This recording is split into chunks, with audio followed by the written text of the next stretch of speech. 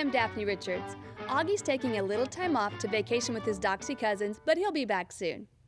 This week's question is about jalapenos turning red and whether that indicates a problem with the plant. Well, if you're growing jalapenos for the first time, or you've never lost track of harvesting them and let them go too long, you may not have noticed that a natural development of these fruit is the reddening when they actually ripen. Normally, we harvest them green, which stops their development, because they're much more tender and tasty at this stage.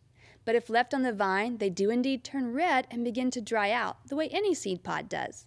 Because we're usually interested in eating the flesh of the pepper, we don't want it to dry out, so we harvest them green while the flesh is still nice and juicy and if allowed to ripen, that valuable flesh begins to dry up and the flavor changes.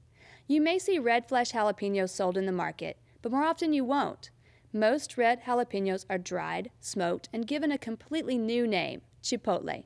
Chipotle peppers are used in cooking to provide a unique smoky flavor and not the heat normally associated with jalapenos.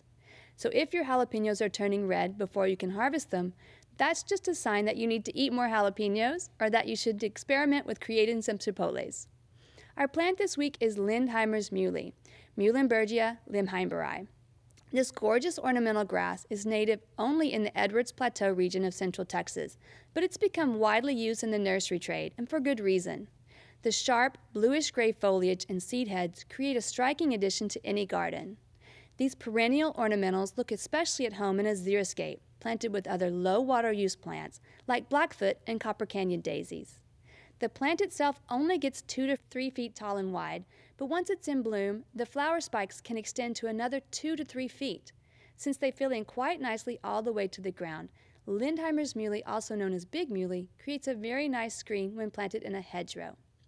Big muhly is native to dry prairies and rocky outcrops, but it can tolerate a little extra moisture if rain falls high and your soil's a bit heavy. It easily thrives in the full, hot sun with very little water, so once established, you can virtually ignore this plant. The native species have lovely pale green inflorescences, which are called panicles in grasses. Improved varieties with pale yellow and even reddish panicles are also available.